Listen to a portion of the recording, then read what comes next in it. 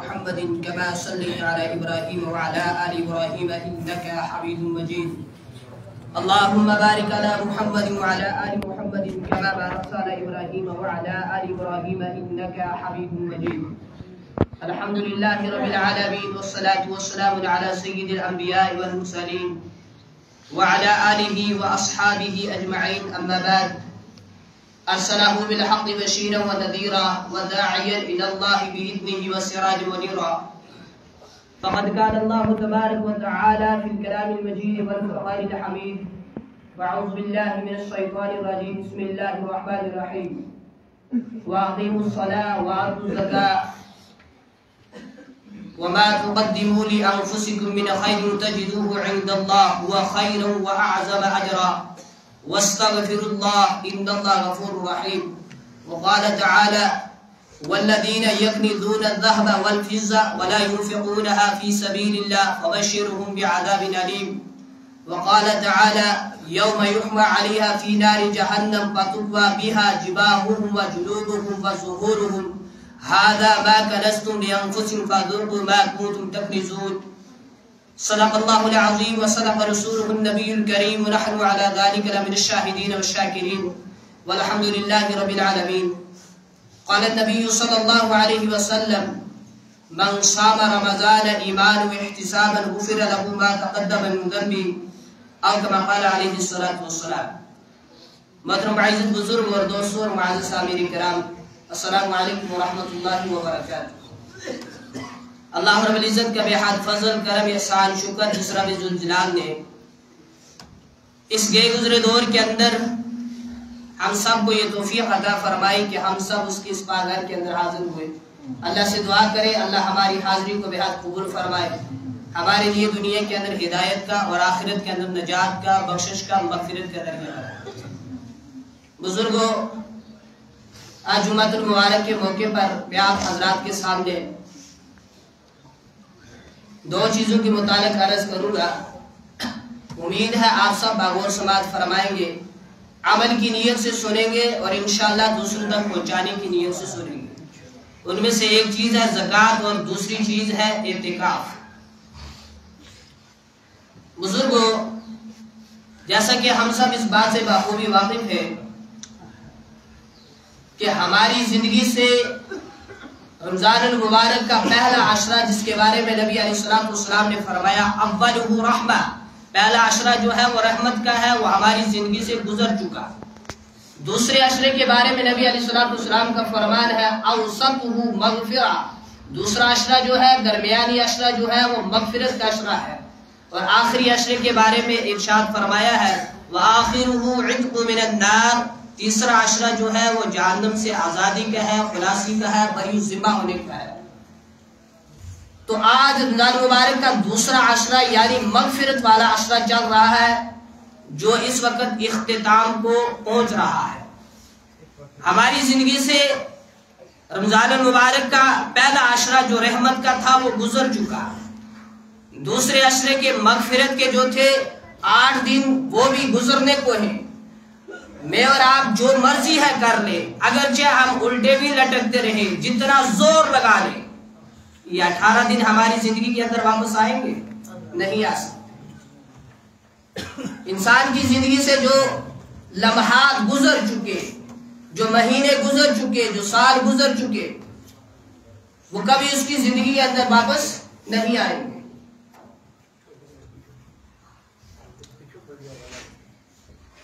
انگریزی کا ایک محاورہ ہے time and tide wait for none وقت کسی کا انتظار نہیں کرتا۔ نہ ہی وقت نے آج تک کسی کا انتظار کیا ہے اور نہ ہی وقت ہمارا انتظار کرے گا۔ بلکہ ہم ہی نے وقت کی قدر کرنی ہے اور رمضان مبارک کا حق ادا کرنے کی کوشش کرنی ہے۔ بزرگوں اللہ رب العزت کی رحمتیں، اللہ رب العزت کی برکتیں اس وقت موسلا دار بارش کی طرح برس رہی ہیں۔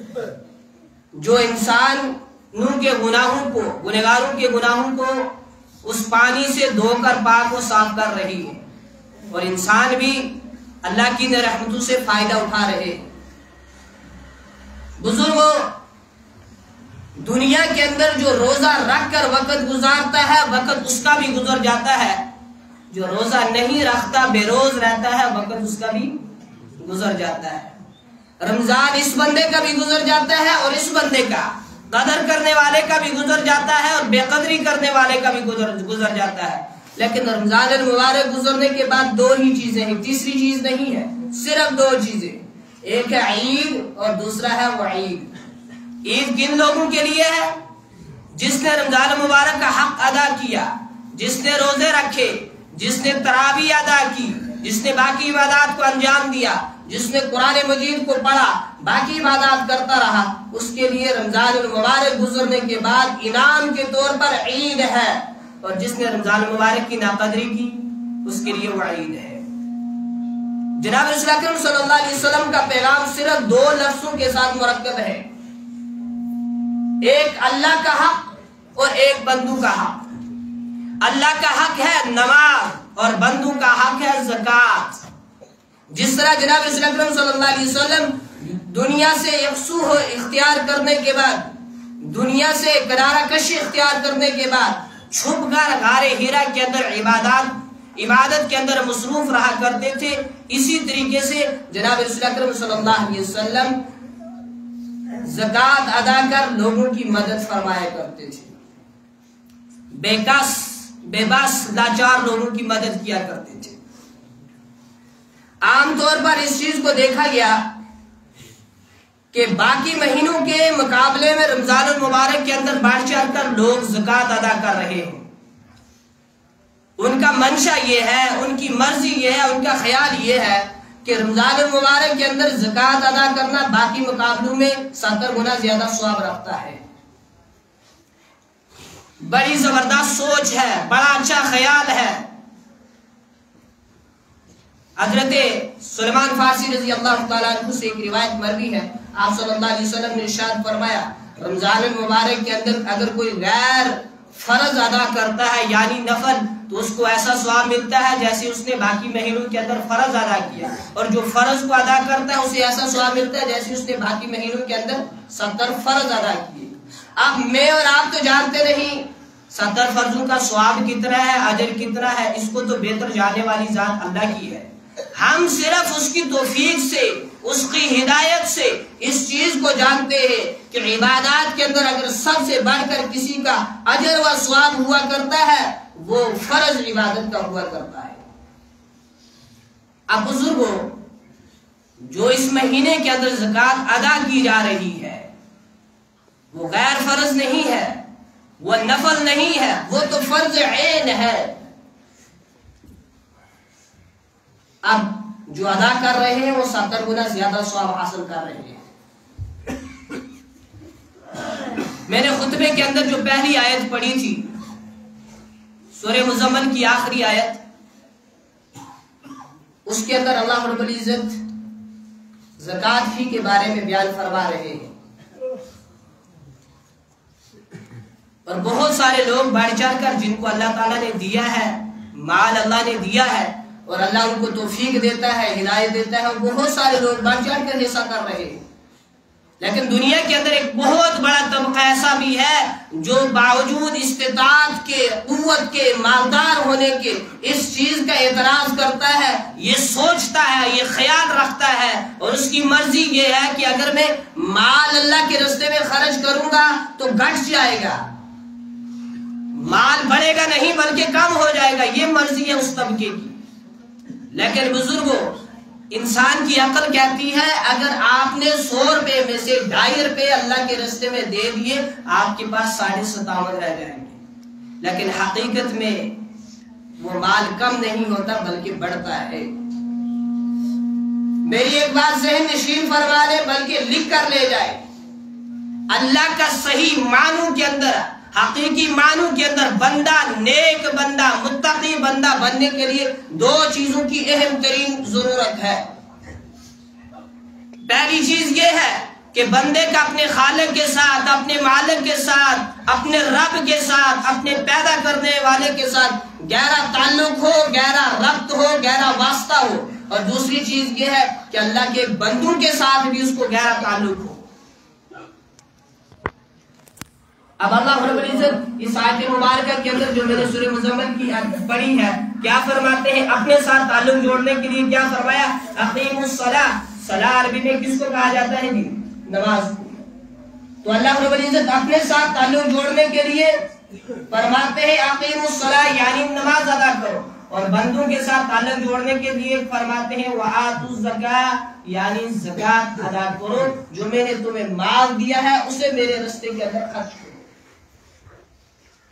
میں اکثر و بیشتر یہ کہا کرتا ہوں کہ جس کا مال اللہ کے رستے کے اندر قبول ہو جاتا ہے، وہی مال اس قابل تھا کہ اللہ نے قبول کر لیا۔ جو قبول نہیں ہوا، سمجھ لے، وہ مال اس قابل تھا ہی نہیں کہ اللہ نے اس کو اپنے رستے کے اندر قبول نہیں کیا۔ جو پاک مال ہے، جو صاف مال ہے، جو سود سے بچا ہوا ہے، جو رشوت سے بچا ہوا ہے، جو حرام سے بچا ہوا ہے، جو خون پسینے کی کمائی ہے، اللہ اسی مال کو اپنے رستے کے اندر قبول کرتا ہے۔ اللہ اسی مال کو مساجد کے لیے، مدارس کے لیے غربا کے لیے، مسکینوں، یتیموں کی امداد کرنے کے لیے قبول کرتا ہے۔ ناپاک مال کو اللہ اپنے رستے کے اندر قبول نہیں کرتا۔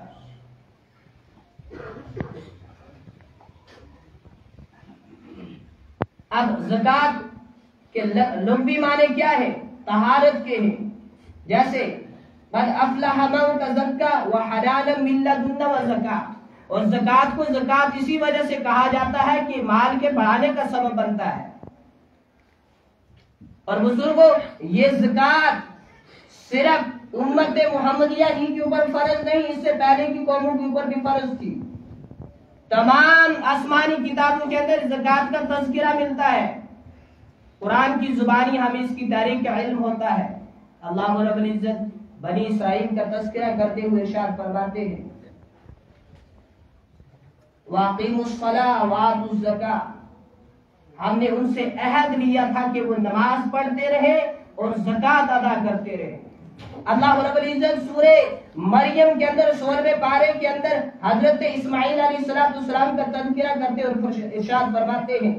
وَذْكُرْ فِي الْكِتَابِ إِسْمَعِيلِ إِنَّهُ كَانَ صَادِقَ الْوَعْدِ۔ وَكَانَ رَسُولًا نَبِيًّا وكان يأمر أهله بالصلاة والزكاة وكان عند ربه مرضيا اے میرے محبوب صلی اللہ علیہ وسلم، آپ اسماعیل علیہ السلام کا تذکرہ پاک کتاب کے اندر یعنی قرآن مجید کے اندر پڑھے کہ وہ ہمارے سچے نبی تھے، وہ کیا کرتے تھے؟ نماز کی پابندی کرتے تھے اور زکات ادا کرتے تھے، وعدے کے پابند تھے اور ہمارے بڑے ہی پسندیدہ بندے تھے۔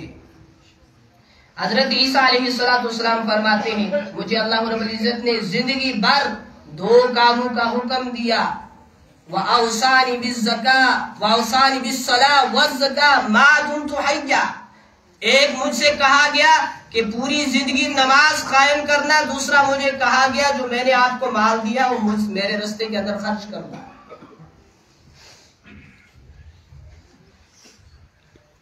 یہ خرچ کرنے کا مزہ جو ہے بزرگ اور دوستو، یہ وہی لوگ محسوس کرتے ہیں جو اللہ کے رستے کے اندر دیتے ہیں۔ نہ دینے والا اس چیز کا مزہ، اس چیز کا سکون، اس چیز کا لطف نہیں حاصل کر سکتا۔ جیسے کسی کے سامنے عطر پیش کیا جائے، خوشبو پیش کی جائے۔ اب جو، جس کو نزلہ زکام نہیں ہوگا تو وہ اس کی خوشبو محسوس کرے گا۔ جس کو نظرہ زکام ہوگا تو اس کی خوشبو کیسے محسوس کر سکے؟ اس کے سامنے خوشبو ہے یا بدبو ہے کوئی فرق نہیں پڑتا۔ تو جو لوگ اللہ کے رستے کے اندر خرچ کرتے ہیں، اس کا مزہ انسان انہی سے پوچھے۔ نہ خرچ کرنے والے کو ایسی لذت، ایسا مزہ حاصل نہیں ہو سکتا۔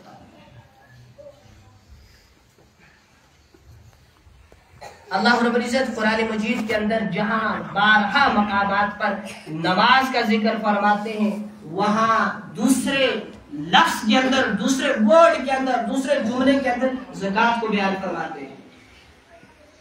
واقیم الصلاة، وآتوا الزکاة واقیم الصلاة، وآتوا الزکاة جو جو قرآن مجید پڑھتے ہیں، وہ جانتے ہوں گے کہ قرآن مجید کے اندر بارہا مقامات پر الفاظ جہاں آیا ہے واقیم الصلاة یعنی نماز پڑھو۔ وہاں فوراً اس کے بعد کہا گیا، وآتوا الزکاة یعنی زکات بھی ادا کرو۔ ایک جگہ ارشاد ہے خود من اموالهم صدقه وتطهرهم وتزكيهم بها وصلي عليهم۔ آپ صلی اللہ علیہ وسلم سے خطاب ہو رہا ہے۔ آپ ان کے مالوں سے زکات دیجیے تاکہ ان کا مال پاک و صاف ہو جائے اور آپ ان کے لیے دعا کیجیے۔ ایک جگہ ارشاد ہے، فَإِن تَابُوا وَقَامُوا الصَّلَاةَ وَآتَوُا الزَّكَاةَ فَخَلُّوا سَبِيلَهُمْ اگر یہ توبہ کرنے، اپنی اصلاح کرنے، نماز پڑھنے لگ گئے زکات ادا کرنے لگ جائے تو ان کا رستہ چھوڑ دو۔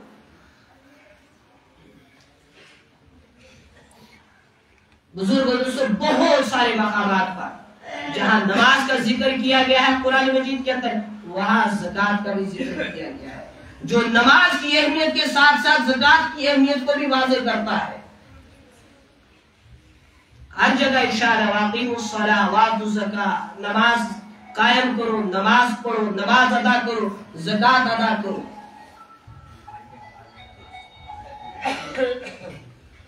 اب بزرگ و دوستو دنیا کے اندر بہت سارے لوگ ایسے ہوتے ہیں، بڑا طبقہ ایسا ہوتا ہے، جو بات کرنے سے بات سمجھ جاتا ہے، نصیحت کرنے سے نصیحت کو قبول کر دیتا ہے۔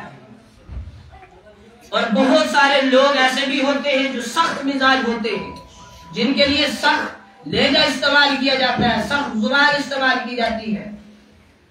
قرآن مجید کے اندر ارشاد فرمایا گیا، زکات نہ دینے والے کے بارے میں اب تو آپ اس سے پہلے زکات کے فضائل سن رہے تھے کہ زکات ادا کرنے کے فضائل کیا کیا ہے آپ زکات نہ دینے پر وعیدات کو بھی سماعت کرتے جائیں اللہ رب العزت دسویں بارے کے اندر ارشاد فرماتے ہیں والذین یکنزون الذهب والفضة ولا ينفقونها في سبيل الله فبشرهم بعذاب علیم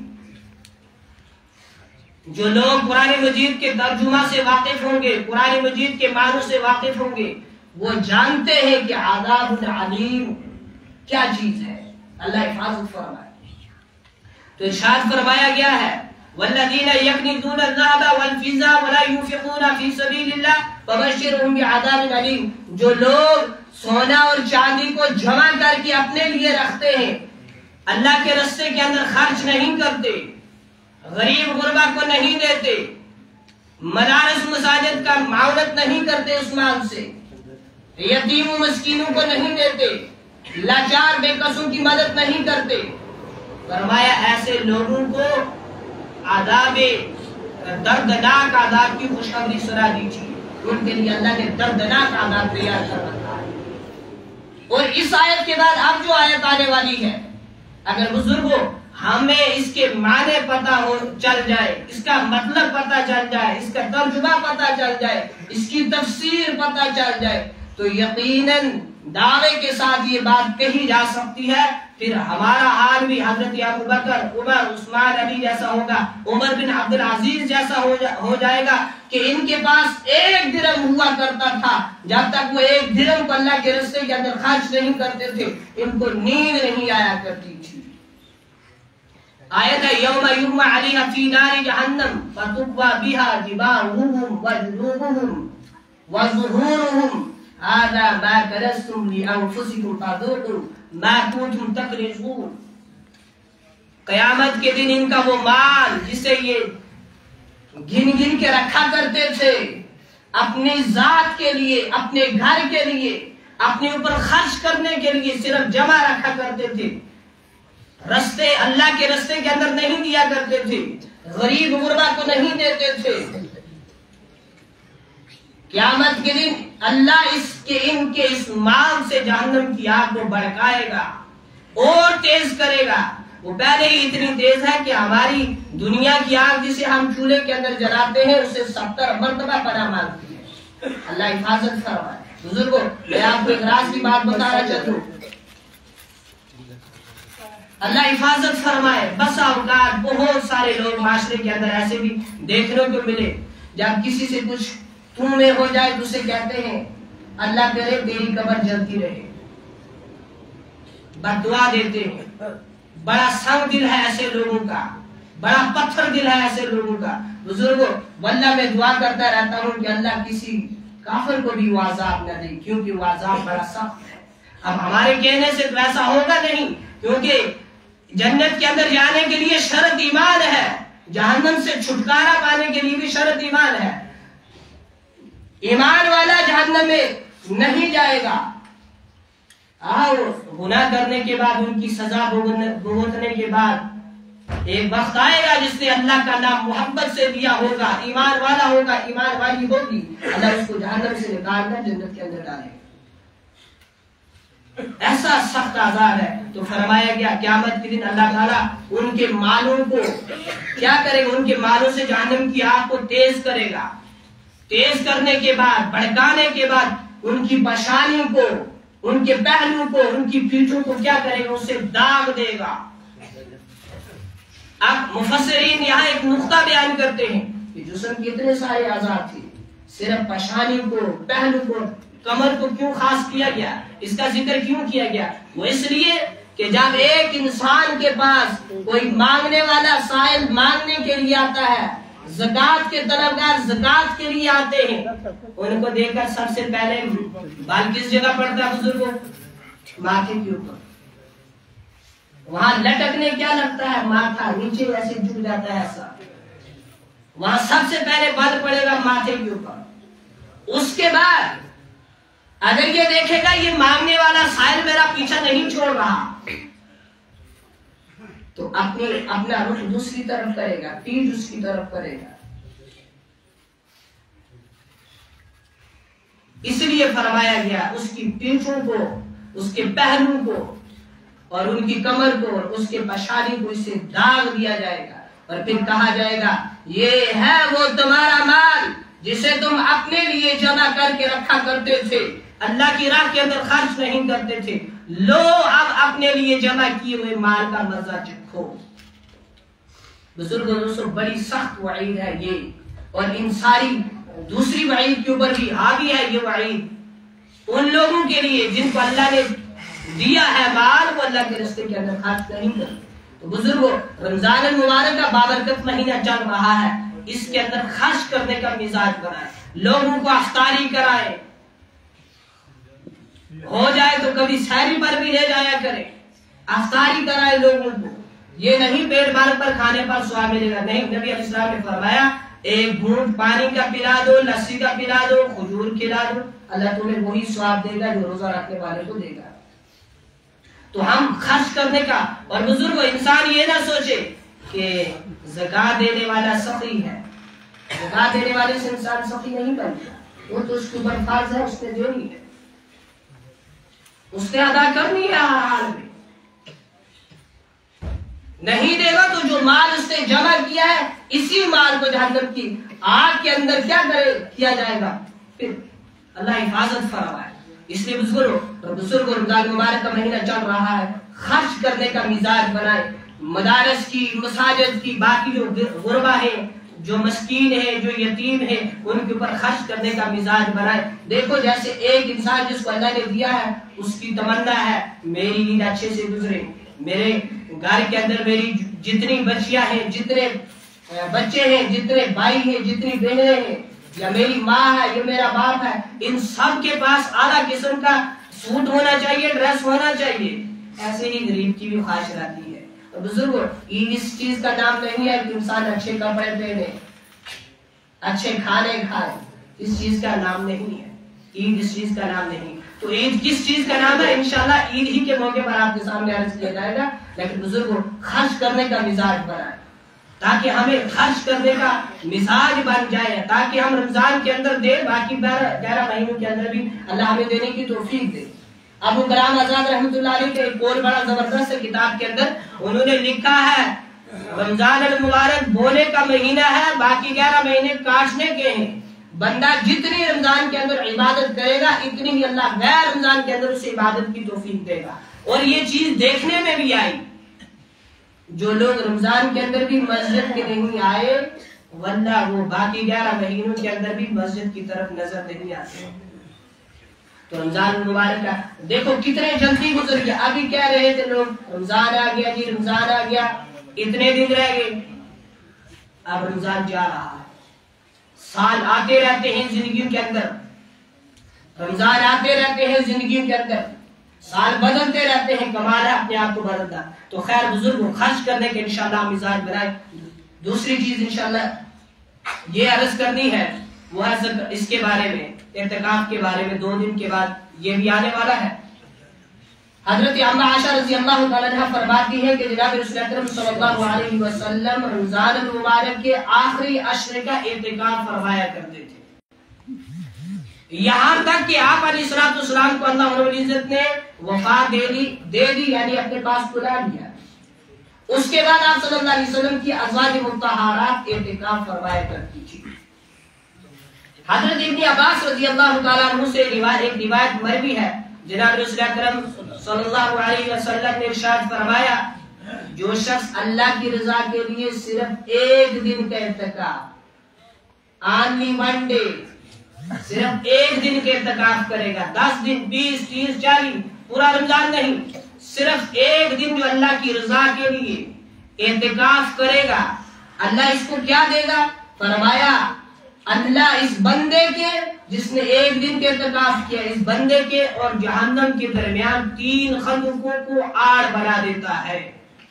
تین خندق کے اور ایک خندق کی مسافت کیا بیان فرمائی آپ صلی اللہ علیہ وسلم نے؟ زمین سے لے کر آسمان تک جتنی خلا ہے، جتنی جگہ ہے، اس سے بھی زیادہ چوڑی خندق اللہ اس تین خندقوں کا فاصلہ اس انسان کے لیے بنا دے گا جو صرف ایک دن کے ارتکاب کرے گا۔ اللہ اکبر، جو بندہ صرف ایک دن کے ارتکاب کرتا ہے، اللہ اتنا نوازتا ہے۔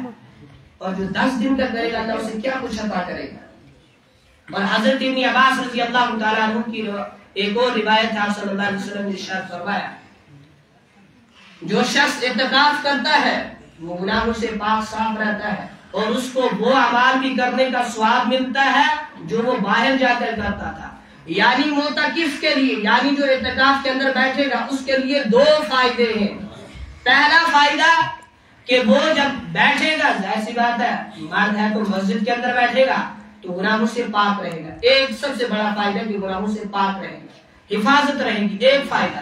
دوسرا فائدہ یہ کہ اس کو وہ عمال کرنے کا سواب بھی ملے گا جو وہ باہر جا کر کرتا تھا یعنی جنازے کے اندر شرکت کرتا تھا، بیمار کی عیادت کرتا تھا، علماء صلحہ کی مجالس کے اندر حاضری دیا کرتا تھا، غریب غربہ کی امداد کیا کرتا تھا، باہر جا کر نیک کام کرتا تھا، اللہ اس کو اتقاف کے اندر بیٹھ کر ان یہ ان عمال کا سواب دے گا۔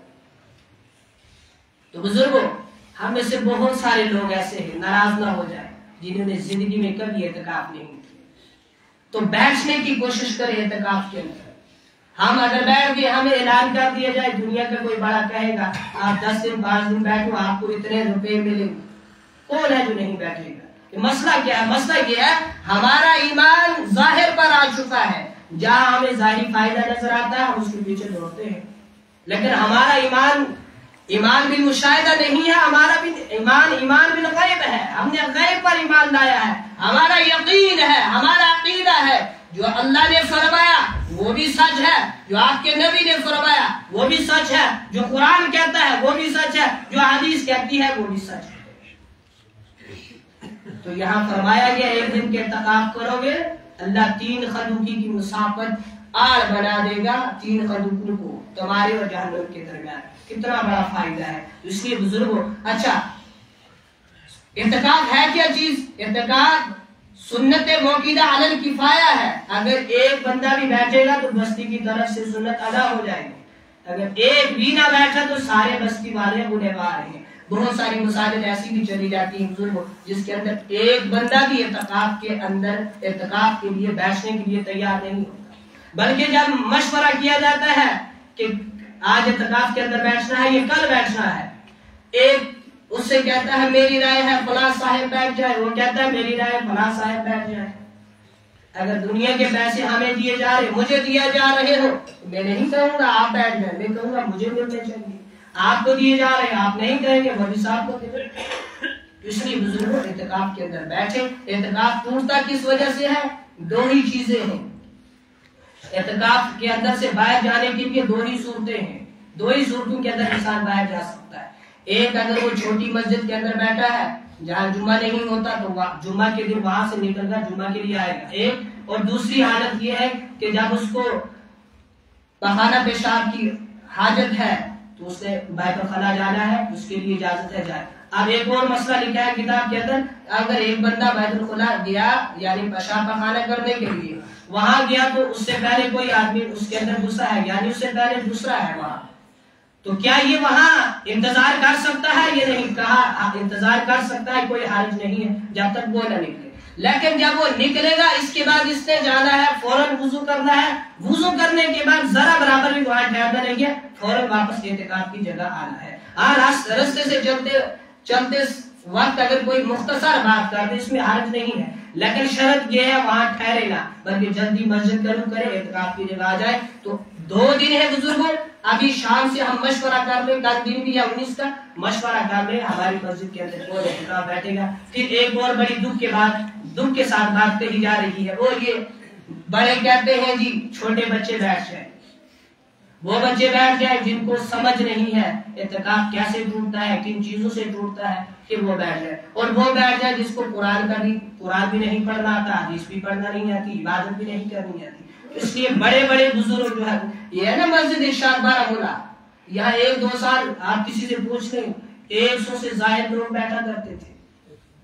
مسجد بلال ہے، دارالعلوم بلالیہ لال گزار سری نگر کی۔ وہاں ایک منزل پوری اعتکاف کے اندر بیٹھتی ہے۔ دارالعلوم رحیمیہ ہے بانڈی پورا وہاں پچھلے سال ایک منزل پوری اعتکاف کے اندر بیٹھی۔ ایک منزل کے اندر جتنے لوگ ہیں، سارے اعتکاف کے اندر بیٹھے تھے۔ دارالعلوم رحیمیہ کے موت میں حضرت مولانا مفتی عبد الرشید صاحب تینوں اشروں کے اعتکاف کرتے ہیں رمضان مبارک کے اندر۔ یعنی پورا مہینہ رمضان مبارک کے اندر اس کے اندر اعتکاف کے اندر گزارتے ہیں۔ ہم سری نگر ایک مسجد کے اندر دیکھ رہے ایک مفتی صاحب محراب کے اندر بیٹھے ہیں اعتکاف سے۔ ہم نے پوچھا کب سے بیٹھے ہیں؟ کہا، الحمدللہ، جب سے پہلا روزہ شروع ہوا تھا۔ ارادہ کب ہے اٹھنے کا جب عید کا چاند نظر آئے گا۔ اس کے بغیر تو ہمیں باہر بزرگ بہت نہ چاہتے ہوئے بھی ہم سے غلطیاں کمیاں کوتاہیاں گناہ ہو جاتے ہیں۔ یہاں بیٹھیں گے تو ان ساری چیزوں سے حفاظت رہے گی۔ اس لیے بزرگ دو چیزوں کا کیا کریں؟ ایک جذبہ پیدا کریں۔ ایک تو ہم جن کے اوپر زکات فرض ہے وہ زکات ادا کریں۔ اور رمضان مبارک ہی کے اندر ادا, ادا کریں اس کے اندر زیادہ اجر ہے سواب اور زکات کے مصرف جہاں غریب غربہ ہے، آپ تحقیق کر لے کون اس کا زکات کا مستحق ہے؟ وہاں دے اور ایک اور بہترین جگہ ہے زکات کا مصرف، وہ ہے دینی ادارے۔ ان چیزوں کا بھی آپ خیال رکھیں۔ یہ آپ ہی کے دعوت سے اللہ کے فضل سے چلتے ہیں۔ اور دوسری چیز ہے اعتقاب ابھی سے ارادہ کر لیں انشاءاللہ میں کبھی زندگی کے اندر اعتقاب نہیں بیٹھا۔ انشاءاللہ دو ہزار چوبیس کا رمضان یہ جو آج آنے والا ہے، میں اعتقاب کے اندر بیٹھوں گا، اس چیز کا ارادہ کر لیں اور بزرگ بزرگ بیٹھنے کی کوشش کریں۔ بعض لوگ کہتے ہیں، ہماری رائے مولوی صاحب فری ہے مولوی صاحب بھی ہم دوسرے کس لیے آئے ہیں؟ باتیں کرنے کے لیے دنیا کے اندر۔